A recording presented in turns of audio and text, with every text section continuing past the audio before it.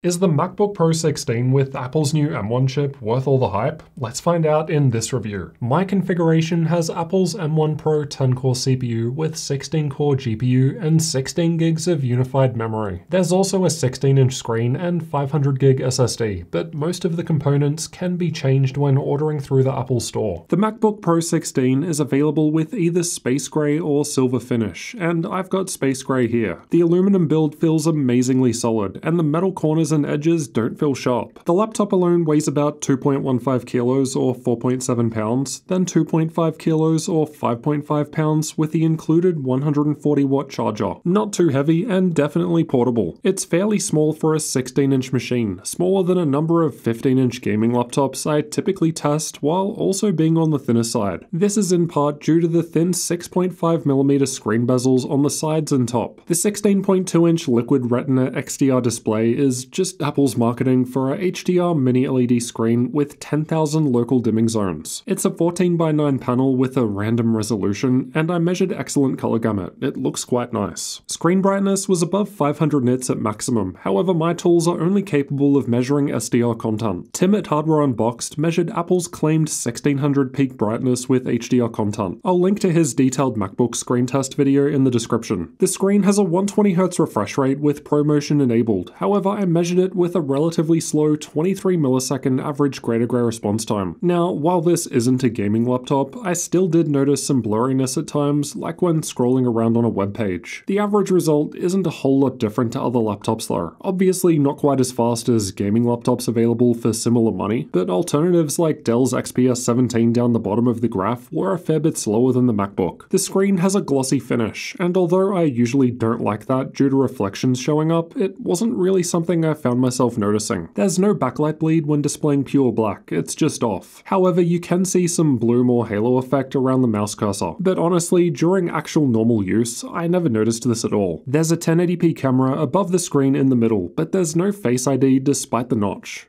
I'd say the camera looks above average, but what I thought was even better was the microphones. They just sound great compared to any other laptop. And this is what it sounds like while I'm typing on the keyboard.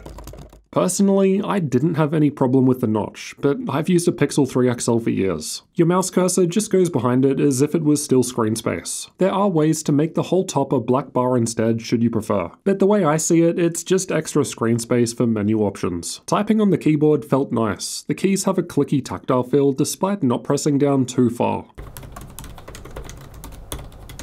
All keys and secondary functions are lit up with the backlighting, and brightness is adjusted with a slider through software. There's an ambient light sensor which can be used to automatically adjust keyboard and screen brightness, or you can disable that if you prefer. There's no room for a numpad and no touch bar at the top like previous generations. Instead, physical function keys are back. The top right key is the power button and also the Touch ID fingerprint scanner, which I found to work very fast and accurately. There are front-facing speakers on either side of the keyboard with a total of six speakers all up. My first thoughts when I accidentally started playing some random music video on YouTube were, holy shit, they sound amazing compared to any other laptop I have ever tested, easily the best. The touchpad is massive and mostly worked well. I can see what all the hype is about, but honestly, I don't think it's for me. I just like something with a deeper feeling click. And I had random problems like not being able to drag and drop files properly without disabling force click and haptic feedback. But this could just be one of those things I'm too Windows user to be doing properly. On the left, left from the back, we've got the MagSafe 3 port for charging, two Type-C Thunderbolt 4 ports, and a 3.5mm audio combo jack, which Apple says can support high impedance headphones. On the right, there's an SD card slot, a third Type-C Thunderbolt 4 port, and HDMI 2.0 output. Normally, this wouldn't be that big of a deal, but Apple has been missing this sort of I.O. for years. All three Type-C ports can also be used to charge the laptop. Granted, the 140 watt MagSafe charger isn't exactly large. For the most part, MagSafe works well,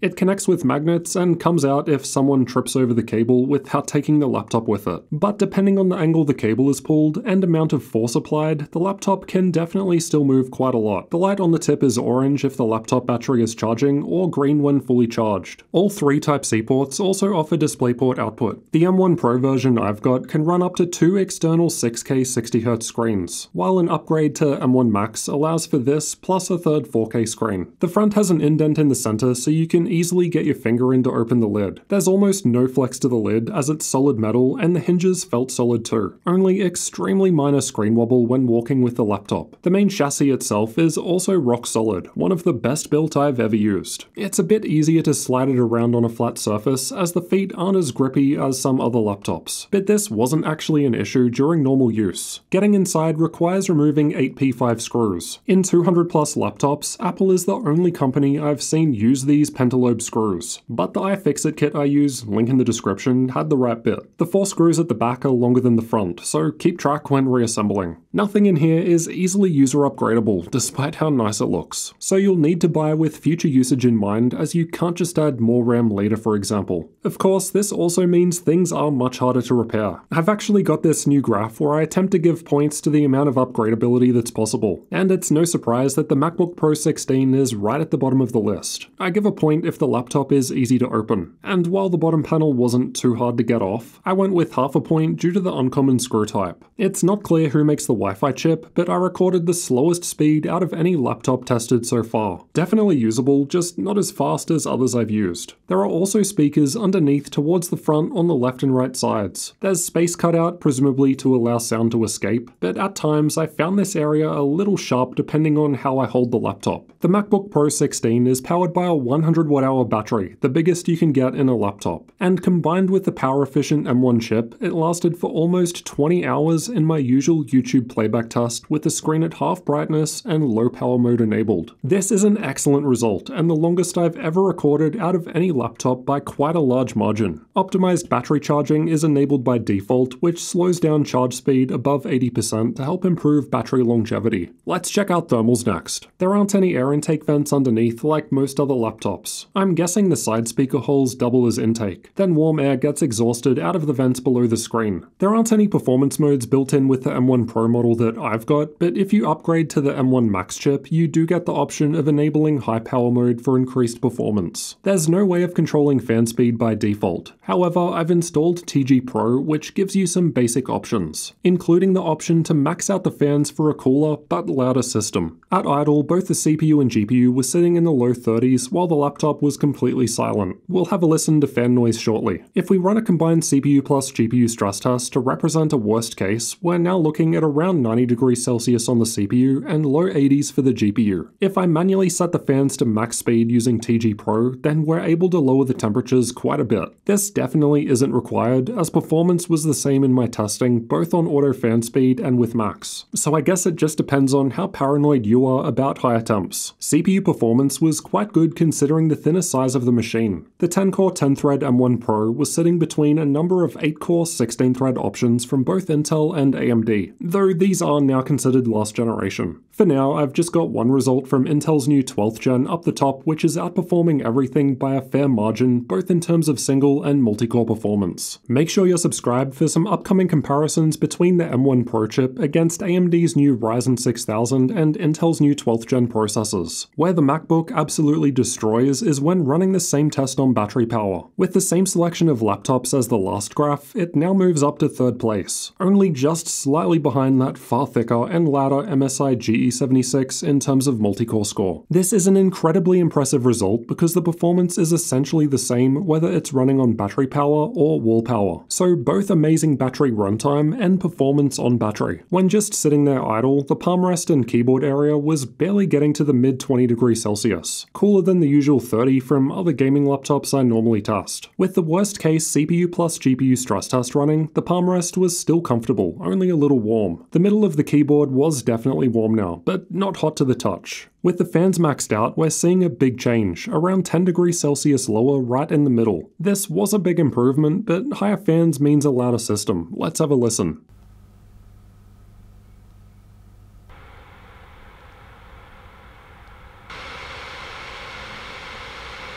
This is another seriously impressive result. Even with a full-on stress test, at stock without any custom software to modify the fan speed, the fans were barely audible. I noticed this throughout all of my testing too, whether I was running Cinebench for half an hour or my Adobe Premiere benchmarks. I could hardly even hear it. It was quieter in these real-world tasks than the worst-case stress test we just listened to, and even that wasn't too bad. As for manually setting the fan to maximum, personally I wouldn't bother. Honestly, I'd just leave it on auto fan speed as it works great while being relatively quiet. Alright, I've seen a lot of people talk about how amazing the new M1 chips are for content creators, so let's find out how true that is. Adobe Premiere was tested with the Puget Systems benchmark, and the MacBook would have taken out first place if I didn't just get Intel's new 12th gen in for testing. MSI's larger GE76 with Intel's top-end 14-core 20-thread i9-12900HK CPU and NVIDIA RTX 3080 Ti graphics was doing the best. But it's also worth noting it runs way louder. Given the size and quietness of the MacBook, this is an extremely impressive result. I normally also test Adobe Photoshop, but unfortunately right now the Puget Systems benchmark only works with the x86 version, and given there is an M1 native version of Photoshop available for this laptop, it doesn't really make sense to test the one that no one really has a reason to use. Likewise, unfortunately the Puget Systems DaVinci Resolve benchmark doesn't currently work on M1, but I'll probably end up making my own Resolve benchmark when I compare the M1 Pro against both Intel 12th gen and AMD Ryzen 6000 processors in future comparison videos. So make sure that you're subscribed for all that content. Now that kind of leads me into software support. For the most part, most of the applications I tested do have native M1 versions now, but that wasn't the case for everything. Honestly, it wasn't really a problem because any older x86 applications just ran pretty much automatically through the Rosetta 2 emulation layer. You just open them like a normal program and it works as expected. Now, although all of the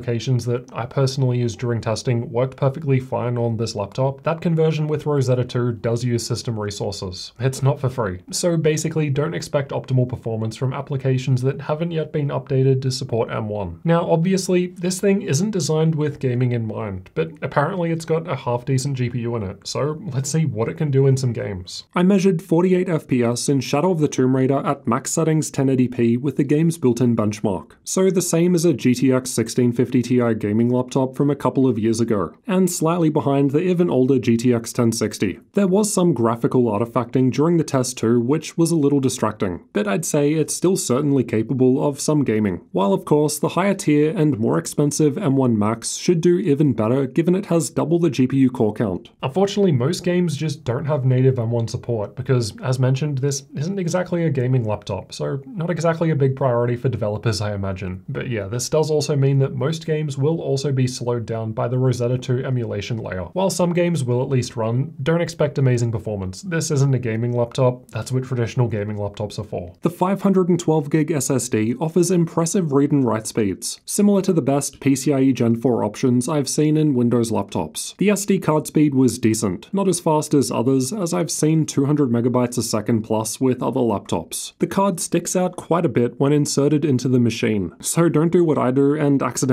bump it. There's no bootcamp possible with the new M1 models, so no option of running another operating system like Windows or Linux natively. As for using macOS itself, well, I've been a Windows user for over 20 years now, and I had to Google search how to do a lot of basic tasks, way more than I'd like to admit. Even after weeks of using the device, I don't feel like I ever fully got used to the software. Maybe if I used it for more time, or perhaps if I dropped Windows rather than trying to use both at the same time. But yeah, a few weeks of use and macOS just isn't for me personally over Windows. Now, as you've probably been expecting, the MacBook Pro 16 definitely doesn't come cheap. Right now on Apple's website, we're looking at 2500 US dollars for the base configuration that I've got here. You can upgrade the M1 chip for more GPU power in $200 increments, while the memory pricing is approaching scam tier compared to how much memory costs for a regular laptop. You can only go up to 64 gigs with the M1 Max chip, and you've also got the option of storage upgrades. Again, don't forget there's no upgrading later. You've got to select your future needs when buying, though you could at least add more space later with an external Thunderbolt SSD. Alright, let's summarize by considering both the good and the bad to help you decide if you should spend all your hard-earned cash on Apple's new MacBook Pro 16. Build quality of this thing is excellent. It's easily one of the most solid, nice-feeling laptops I've ever used, despite it being relatively thin considering the high levels of performance on offer. The big screen looks great, and this generation they've finally brought back popular I.O. like the SD card slot and HDMI port. I don't really understand why the notch is there. Sure, if they had Face ID to let you log in, I'd get it, but they don't. Battery life is on another planet, and performance when actually running unplugged is basically the same as being connected. Very impressive. Although the Rosetta 2 emulation layer worked fantastically well, it still feels like we're in a bit of a transitional period while a number of applications aren't yet updated for native M1 support. So apps that are yet to be updated may not perform as well as they otherwise could. The M1 chip is clearly powerful, but it depends on the workload. Sure, it's got GPU power, but I wouldn't be looking at a MacBook for gaming for instance. As again, performance is lost from emulation, not to mention the slow screen response time. That's fine though, as the MacBook isn't made with gaming in mind, but if you want to do a little on the side, then hey, it might be possible depending on the specific game. Where the MacBook really shines is in content creator workloads. The screen looks great with high color gamut and gets bright, plus M1 native apps like Adobe Premiere perform extremely well, so it's no surprise to hear that so many content creators have moved over to M1 hardware. As is typically the case with Apple, all of this comes at a high cost. If time is money and you're a creative professional who is cool with macOS and ideally your apps have native M1 support, then I can definitely see the MacBook Pro 16 being worth its weight in gold. For most other people, honestly, there are other options out there that may be cheaper that'll get the job done while also having more user upgradability and repairability options. I'll be comparing the M1 Pro chip in this laptop against AMD Ryzen 6000 and Intel 12th gen processors in future videos, so make sure you're subscribed for all of that upcoming content. But for now, I've already done some testing with Intel's most powerful 12th gen i9 12900HK processor in this video over here, so I'll see you in that one next.